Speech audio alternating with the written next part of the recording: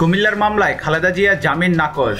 কুমিল্লার চোদ্দগ্রাম উপজেলা জগমোহনপুরে যাত্রীবাহী বাসে পেট্রোল বোমা হামলায় আটজন নিহত হওয়ার মামলায় বিএনপি চেয়ারপারসন বেগম খালেদা জিয়ার আবেদন নাকচ করেছেন আদালত। আজ মঙ্গলবার কুমিল্লার জ্যেষ্ঠ বিচারিক হাকিম আদালতের পাঁচ নং আমলি আদালতের জ্যেষ্ঠ বিচারক মুস্তাইন বিল্লা এ আদেশ দেন। খালেদা জিয়ার আইনজীবী অ্যাডভোকেট সানাউল্লাহ মিয়া এবং অ্যাডভোকেট কাইমুল হক রিঙ্কু বলেন, এটি একটি রাজনৈতিক মামলা। আজ জামিন আবেদন আদালত নামঞ্জুর করেছেন। নথি হাতে পাওয়ার পরে জেলা ও দায়রা জজ আদালতে জামিন আবেদন করবেন তারা। সেখানে ন্যায় বিচার পাবেন বলেও আশা করেন তারা। গত বারোই মার্চ সোমবার বিকেলে গুলশান থানার ভারপ্রাপ্ত কর্মকর্তা ওসি আবেদনের পরিপ্রেক্ষিতে কুমিল্লার পাঁচ নং আমলি আদালতে বিচারক মুসাইন বিল্লাহ কুমিল্লার ওই মামলায় খালেদা জিয়াকে আঠাইশ মার্চ হাজিরার নির্দেশ দেন। কুমিল্লার আদালতে দায়িত্বরত পরিদর্শক সুব্রত ব্যানার্জি বলেন জি আর একান্ন মামলায় জিয়াকে গ্রেপ্তারের আবেদন কুমিল্লার আমলি আদালত পাঁচ চোদ্দ গ্রাম কোর্টে উপস্থাপন করলে সংশ্লিষ্ট আদালত তার নামে হাজিরা পরোয়ানা জারি করেন। পরোয়ানাটি সেদিন ঢাকায় পাঠিয়ে দেওয়া হয়। মামলার বিবরণে জানা যায়, দুই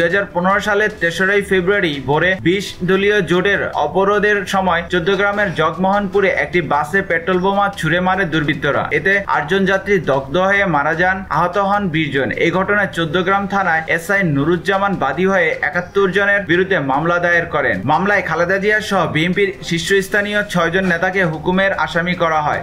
আসামিদের মধ্যে তিনজন মারা যান, পাঁচজনের নাম অভিযোগপত্র থেকে বাদ দেওয়া হয়। খালেদা জিয়া সহ অন্য উনসত্তর জনের বিরুদ্ধে কুমিল্লা আদালতে অভিযোগপত্র দেন তদন্তকারী কর্মকর্তা গোয়েন্দা পুলিশের পরিদর্শক ফিরোজ হোসেন। ভিডিওটি ভালো লাগলে লাইক, কমেন্টস এবং শেয়ার করুন। আর এই রকম আরও আপডেট ভিডিও পেতে আমাদের পিউ নিউজ টিভি সাবস্ক্রাইব করুন। পিউ নিউজ টিভির সাথেই থাকুন। ভালো থাকবেন, সুস্থ থাকবেন। আল্লাহ হাফেজ। ধন্যবাদ।